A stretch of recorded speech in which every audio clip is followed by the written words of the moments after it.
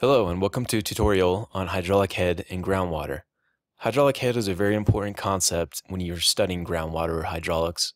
So let me define what hydraulic head is first. So hydraulic head is a, a measurement of water pressure or energy of a body of water above a, a specified datum. Uh, to put it another way, it's sort of like, like the potential energy stored within a body of water to move or do some type of work and it's measured in units of length. And so there's an equation that can define hydraulic head, and it's called the Bernoulli equation. And this is what it looks like. So let's go through these, these terms really quick. So H is the total head or the total energy of a body of water. Z is the elevation head, which represents the elevation of that body of water and sort of the potential energy of that water um, at a certain elevation above a datum. P over rho W times G is the pressure head, and rho W is the, the density of water, and G is the gravitational constant.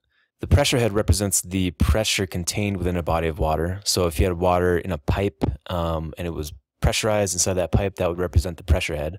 And then V squared over 2G, which is velocity over 2 times the gra gravitational constant, represents the velocity head. And this is the energy represented by the movement of a body of water from one place to another. And so since we're talking about groundwater in this video, we can ignore velocity head. And we can do that because groundwater moves so slowly that we don't even have to account for the velocity of the groundwater. So this term just goes away. Okay, let's work through a little example of hydraulic head. We'll measure the hydraulic head of this body of water here. So in this example, we have a cylinder and the top half is filled with water and the bottom half, half is filled with sand. And there's a little divider in between the two and a plug right there in the middle. Okay? So let's figure out the hydraulic head of this body of water. Okay? And to do that, let's measure it right at the plug.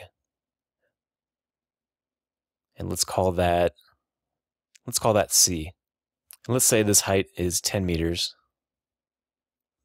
And we'll say this one is 5. And then 0 down here. So this is our datum and we have five feet of water above five feet of sand, okay? So let's write out our equation.